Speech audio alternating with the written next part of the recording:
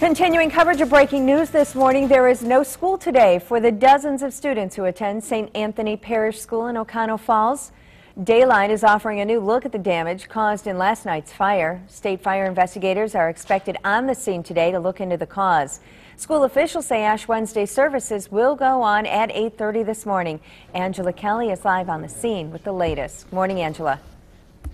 Good morning, Rachel. We're joining you again live from inside of the church, which is connected to St. Anthony's Catholic School. And, um, you know, fortunately, uh, the, the church was salvaged from any extreme damage uh, thanks to a heavy metal door that um, closes between the hallway and the church of the school.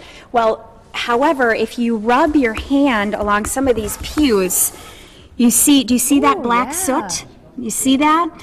Now, I, I just spoke with um, Father Joel here, and, and they still believe that the Mass is going to go on here at 8.30 for Ash Wednesday, but, I mean, that's a concern. This needs to be cleaned up. There's soot in here. Um, It still smells a little bit like smoke, Um, but as of now, the plan is to go on, but we'll keep you updated on that.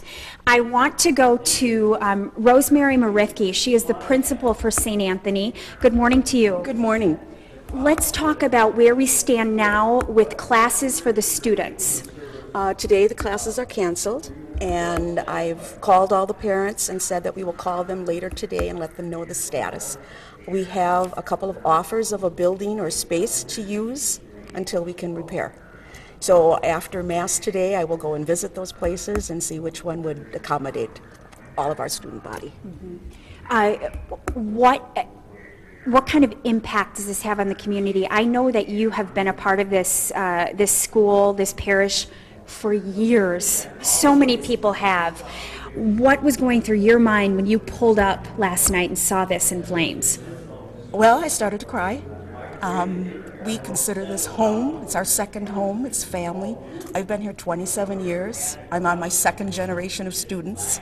Um, our families go camping together. They they go to Wisconsin Dells together. It's a very close knit community, uh, not only here at the school, but the whole Oconto Falls area.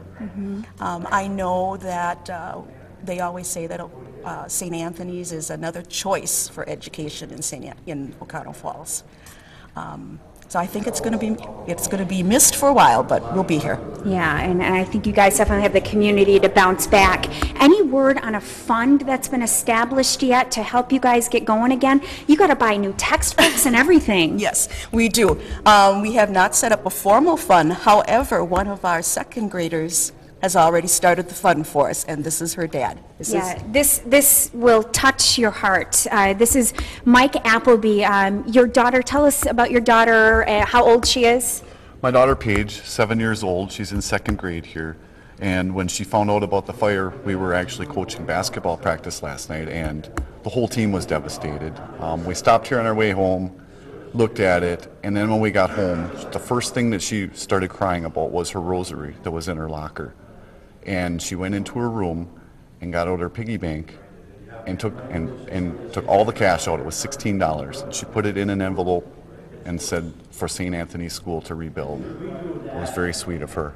That is absolutely incredible. So I think we've got a fund going, guys. I think we've got a fund going. Um, how do you explain? And I imagine so many parents are waking up this morning thinking, "Gosh, how do I explain to my my my small child about what's happening here?" How do you explain that? It's tough, you know. They're they're kids. You don't want to tell them too much, but you don't want to keep anything from them. Um, I think it's important that we're going to bring our daughter for what Ash Wednesday Mass this morning, so that she can see that life does go on. You know, in the face of these tragedies, um, we're going to just keep moving on. Thank you so much for talking with us this morning.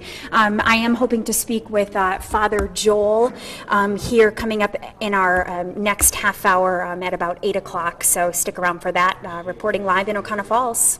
Back to you. Paige, what a little sweetheart. $16 is a great Yeah. start. Thanks, Ange.